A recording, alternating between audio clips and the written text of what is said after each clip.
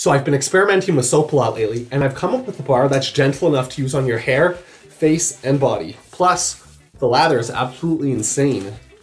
The biggest complaint with bar soap is that it's too drying, so I figured why not try to make a bar with 50% superfat? That's exactly what I did, and it turned out amazing.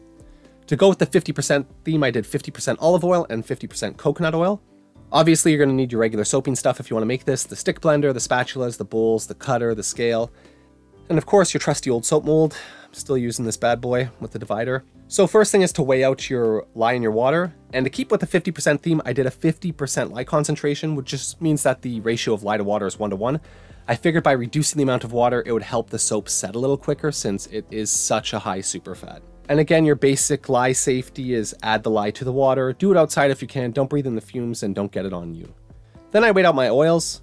Recipe is in the comments, but it's really easy. It's 50% everything. So it's a 500 gram batch. I did 250 grams of coconut oil and 250 grams of olive oil. Gave it a quick microwave just to melt most of the coconut oil.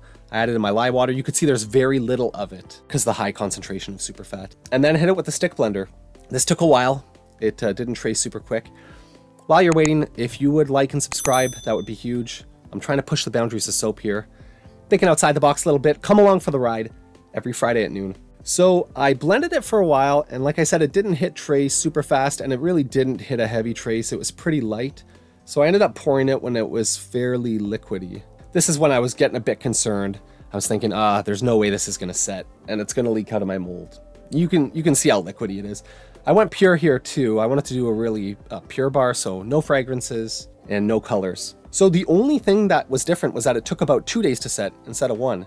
Um, and it's still set up fine. You can see peeled right off. I gotta say, this bar of soap, when you touch it, you could feel the moisture coming out of it. I can use this in my hair, no problem. I could use it on my face, it doesn't dry. What it would be fantastic for is if you're traveling. Bring one bar of soap for everything, and you don't have to worry about checking bags and liquids and all that stuff. Very impressed with it.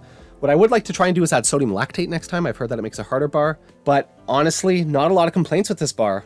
Give it a shot.